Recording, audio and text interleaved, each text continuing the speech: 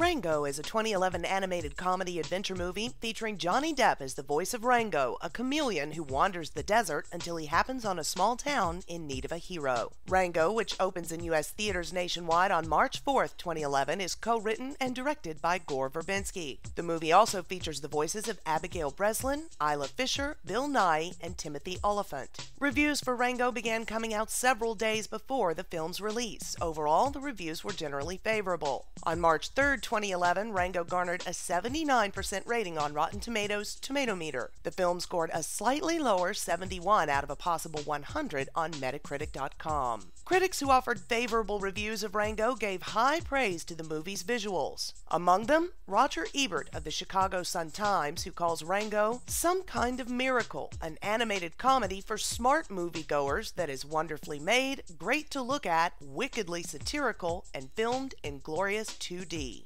Ebert gives Rango a perfect 4 out of 4 stars. Todd McCarthy of The Hollywood Reporter writes that the most exceptional part of Rango is its visual style, which makes even the best animated 3D look like a poor cousin. Critic Peter Debruge of Variety says it's saying something that Johnny Depp's turn as the world's most conspicuous chameleon in the movie is so full bodied you forget the actor and focus on the character. The handful of critics who offered average or less than favorable reviews of Rango include Nick Schager of The Village Voice, who calls the movie's plot overstuffed, writing that laughs are scarce. Overall, though, again, most major critics seem to agree that Rango is an unusual, fun film, including Jake Coyle of the Associated Press, who suggests that perhaps a new classification has been born the SpaghettiOs Western. For more information on this topic, visit the link below.